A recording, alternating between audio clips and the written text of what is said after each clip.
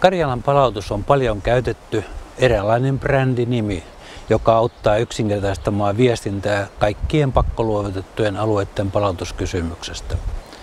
Karjalan palautus merkitsee Pro Karelia ryn, Karelia Klubia ryn ja Karjalan Kuvalehden kielenkäytössä aina Neuvostoliiton Suomelta pakkoluovuttaman koko alueen palauttamista, eli Tarton rauhan rajojen palauttamista. Karjala-sanan yksinomaista käyttöä palautuksen brändin nimenä on aivan viime aikoina alkanut rasittaa se, että Petsamon palautuksen merkitys Euroopan unionille ja Suomelle korostuu lyhyen ajan kuluessa erittäin merkittäväksi.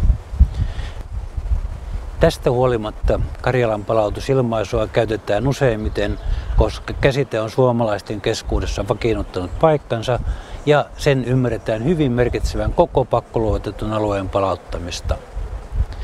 Pakkoluotettu alue on nimenä hyvin negatiivinen ja sen käyttäminen ei useana toistona ole miellyttävää. Karjalaa voidaan käsitellä erillisenä brändinä ja markkinointinimenä koko palautettavalle alueelle. Tarkastelu voidaan kohdistaa niihin keskeisiin vaikutuksiin, joita tämän brändin muodostumisesta koituu. Yksi olennaisimmista kysymyksistä on se, muodostuuko palautettu Karjala-brändistä Suomen talousveturi. Suomalaisten alueiden palautuskysymys ei ole maailmassa ainutlaatuinen asia.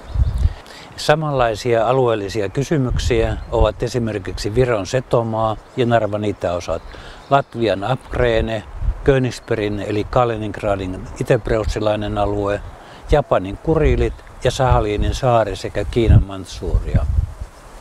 Lue lisää Karjala-brändistä ja Karjalan palautuksesta internetsivulta www.prokarelia.net ja Karjalan Kuvalehdestä. Kiitos kun kuuntelit.